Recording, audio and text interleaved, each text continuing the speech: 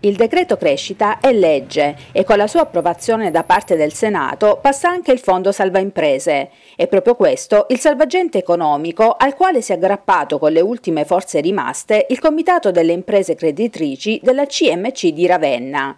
È un grande giorno, scrivono dal Comitato, per 120 imprese e per 2.500 lavoratori della Palermo Agrigento, dell'Agrigento Caltanissetta e della metropolitana di Catania. Per i creditori della CMC, comunque, la questione non finisce qui chiedono al Ministero delle Infrastrutture al più presto la convocazione di un tavolo tecnico così da definire celermente i decreti attuativi e far sì che le procedure per i rimborsi dei crediti partano entro l'estate. Sullo stato dei lavori le imprese rassicurano alla luce dell'approvazione del Fondo Salva Imprese. I cantieri delle statali siciliane e della metropolitana catanese potranno presto ripartire, assicurano, e la Sicilia potrà finalmente beneficiare di queste fondamentali infrastrutture.